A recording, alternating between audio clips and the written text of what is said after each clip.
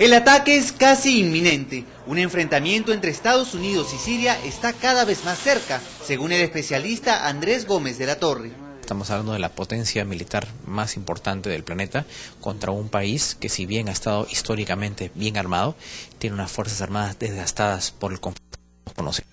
Sostiene que los buques desplegados por Estados Unidos en el Medio Oriente son una fuerza muy superior va a ser eh, un ataque eh, muy específico eh, de castigo, de retaliación, de retorsión contra objetivos de alto valor, con bombardeos aéreos quirúrgicos, sin probablemente penetrar siquiera el espacio aéreo de Siria.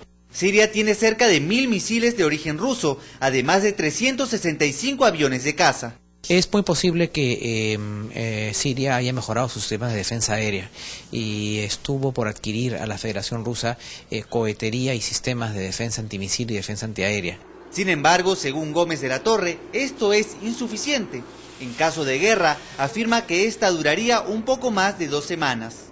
Francia apoya la intervención militar estadounidense, mientras que Rusia y China han mostrado su rechazo. Definitivamente yo no creo una intervención directa de Rusia, pero sí su posición en el Consejo de Seguridad, eh, que se va a oponer a cualquier retaliación o a esta guerra, eh, vamos a decirlo, de castigo contra Siria. Estados Unidos asegura ya tener en su mira el armamento químico en Siria.